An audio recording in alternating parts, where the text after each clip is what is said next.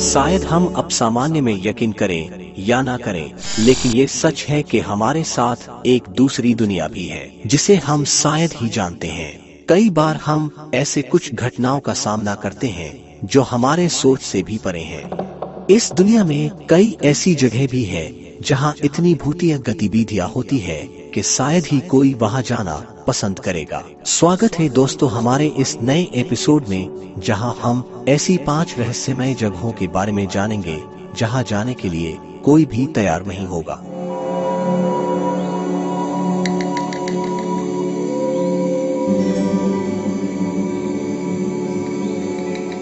Savanna का पूरा शहर लगभग एक विशाल भूत की कहानी जैसा है, जिसमें सार्वजनिक पार्कों से लेकर शराब की भट्टियों तक सब कुछ रहस्यमयी कहानियों में छिपा हुआ है। लेकिन शहर के कुछ स्थान मूडी स्पेनिश काई और समय पहने हुए विक्टोरियन स्मारकों से भरा हुआ है।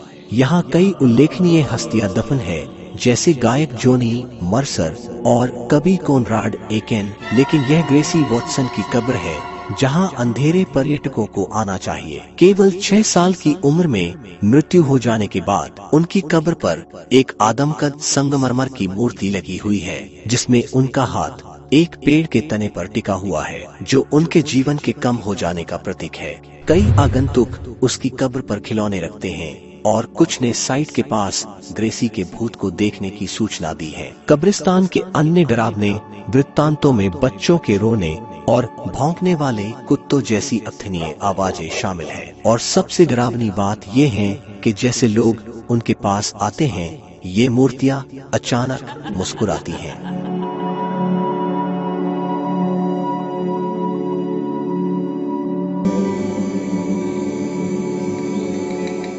चीन बीजिंग की कोई भी यात्रा फॉरबिडन सिटी, चीन के पूर्व शाही महल की यात्रा के बिना पूरी नहीं होती है जो अब एक संग्रहालय के रूप में कार्य करता है। लेकिन आप शायद नहीं जानते होंगे कि इस लोकप्रिय पर्यटन स्थल की काफ़ी प्रतिष्ठा अलौकिक प्रेमियों के बीच है। एक महल के रूप में अपने 600 साल के कार्यकाल के दौरान इस परिसर में हत्याओं की अच्छी खासी हिस्सेदारी थी।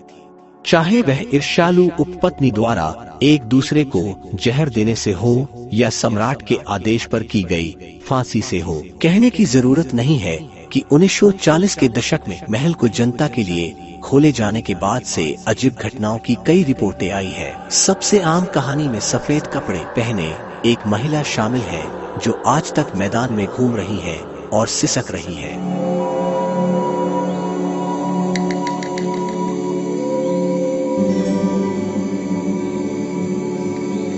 तेरहवीं और पंद्रहवीं सदी के अंत के बीच बने इस आयरिश महल में गेम ऑफ़ थ्रोन्स की शादी से भी ज़्यादा भयानक मौतें हुई है। जैसा कि किमदंती है ओ कैरोल कबीले के भीतर सत्ता के लिए संघर्ष के दौरान एक सदस्य ने अपने भाई और एक पुजारी पर तलवार घोंप दी, क्योंकि वह महल के चैपल में सामूहिक प्रार्थना कर रहा था। उस कमरे को अब द ब्लडी चैपल कहा जाता है और कहा जाता है कि पुजारी रात में चर्च में घूमता रहता है। भयावहता यही समाप्त नहीं होती।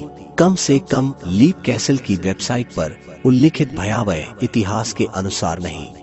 उन्नीसों की शुरुआत में नवीकरण के दौरान श्रमिकों को ब्लडी चैपल में एक गुप्त काल कोथरी मिली जिसमें अनगिनत मानव कंकाल थे। जब उन्हें बाहर निकाला गया तो उन्होंने तीन गाड़ियाँ भरी गई थी। काल कोथरी को इस प्रकार डिज़ाइन किया गया था कि कैदी जाल के दरवाजे से नीचे गिर जाए, उनके फेफड़े ज़मीन पर लकड़ी की किलो से छेद हो जाए, और वो एक धीमी, भयानक मौत मर जाए।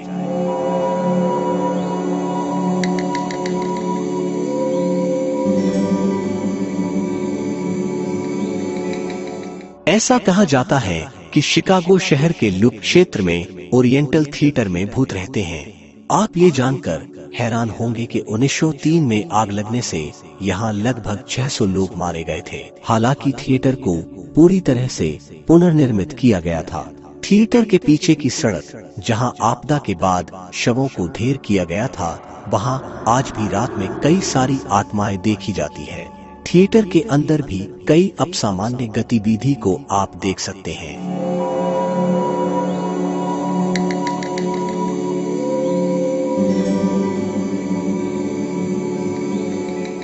वेनिस की नहरों से आधे मील से भी कम दूरी पर पोवेग्लिया द्वीप ने बुबोनिक प्लेग पीड़ितों के लिए एक संगरोध क्षेत्र तथा नेपोलियन के हथियारों के लिए भंडारण स्थान और 20वीं शताब्दी के शुरुआती में पागल खाने की जगह के रूप में कार्य किया है।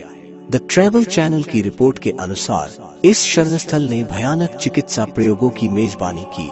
आखिरकार यह हमेशा के लिए बंद हो गया, जब एक डॉक्टर ने संस्था के घंटाघर से कूदकर आत्महत्या कर ली। स्थानीय लोग अभी भी द्वीप से गुंजने वाली झनकार सुनने का दावा करते हैं। भले ही घंटी दशकों पहले हटा दी गई थी। आज पोमेगलिया की यात्रा करना अवैध है, लेकिन आप पास के लिड़ों के समुद्र तटों से द्वीप और क्षयग्रस्त अस्पताल को सुरक्षित रूप से देख सकते हैं।